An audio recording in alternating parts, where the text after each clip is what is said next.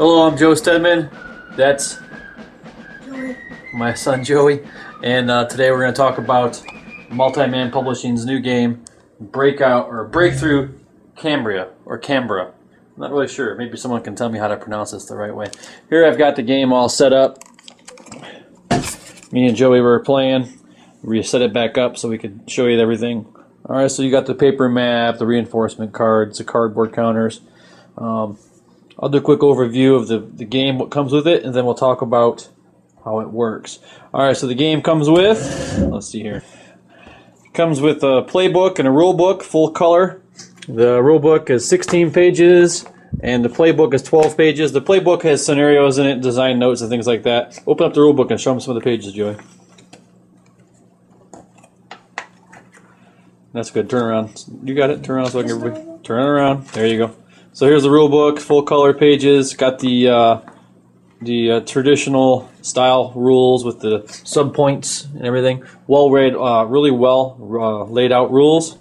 All right, then look at the game. So it comes with uh, two reinforcement cards, which are over here. We can see we've already got our reinforcements all set up on there for the game. It's got two setup cards, which help you when you're setting up the game. Once you get them set up, you can stick it off the side. Two player aid sheets. These are all one-sided, good card stock. Um, with everything you need to know. Comes with four dice, and then a bunch of counters, and not a lot of counters. And the counters are your basic uh, counters. It's like a garrison German unit. You can zoom in there. It's got its defense factor. On these, it's got uh, these British units: attack, defense, and movement. All right. And then look at this. All these tanks. It's got a bunch of tanks. All right. Uh, the map itself is paper see I got a paper map. I got it under a piece of plexiglass, typical.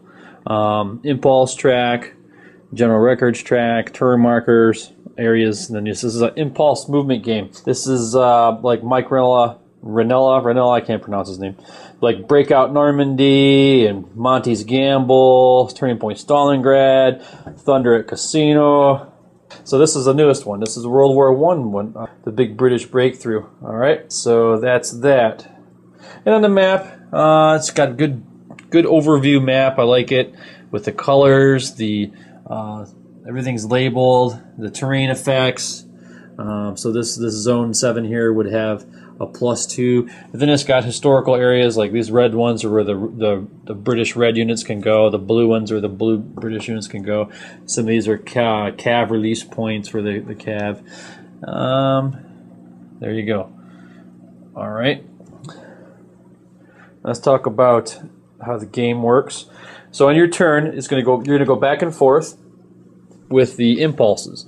There's four parts to each turn. There's the the dawn, the daylight, the dawn, the daylight, uh, the the night. All right, and then uh, so there's dawn, daylight, What's the fourth one, Joey? Oh, the end phase. Dawn, daylight, night, and so during the dawn phase, you're going to get your reinforcements, and it's going to tell you where to put them on the map. During the daylight, you guys are going to take turns back and forth, back and forth.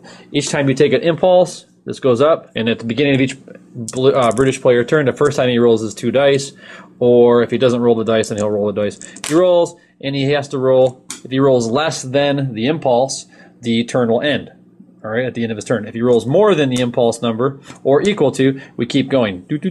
So there could be theoretically 12 impulses. There'd be 24 turns, one for each of us, until the end of the turn. And then at the end, we're going to go up to the next day. All right, and weather and things like that are accounted for. You roll for the weather at the beginning of the dawn. Uh, so that's how the impulse works. But on the impulse, you basically do just a few things. You can act, you activate an area. So let's say it's a German's impulse. He would activate this guys here. And so these guys here, they can move to adjacent areas. They can attack if they're in the same areas.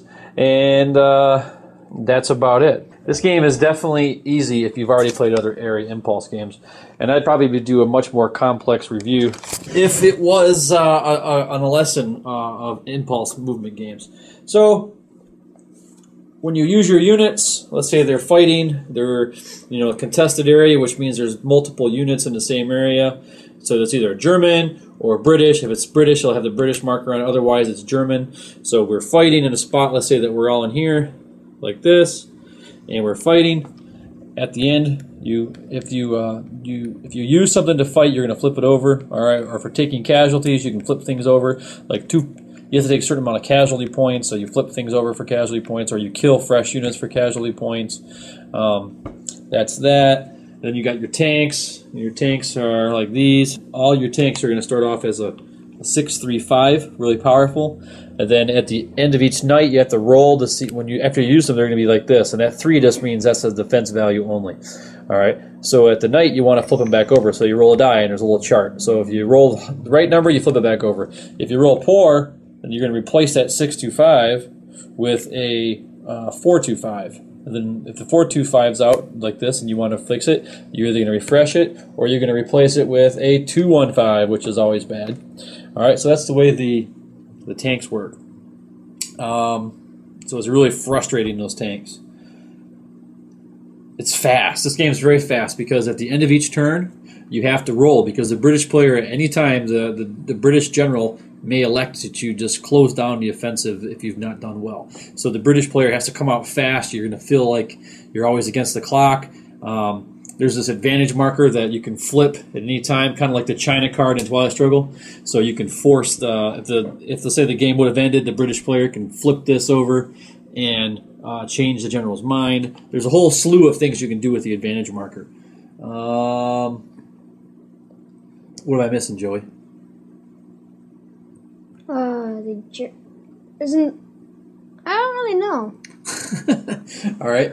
Uh, it's it's a good, clean area impulse game. I love area impulse games. I think I own every one that's ever been out. Um, so there you go.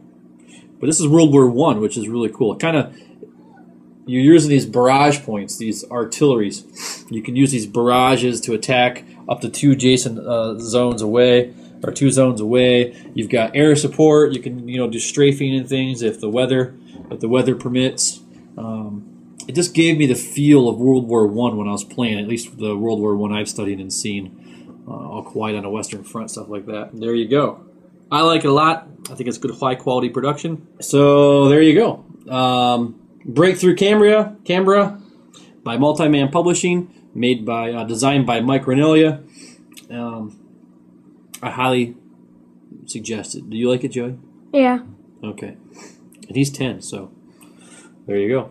All right, thanks. Thanks for joining us today. For more written, audio, and video reviews, as well as the number one board game podcast, check out the website at www.thedicetower.com. Until then, this is Eric Summerer, and you've been watching The Dice Tower.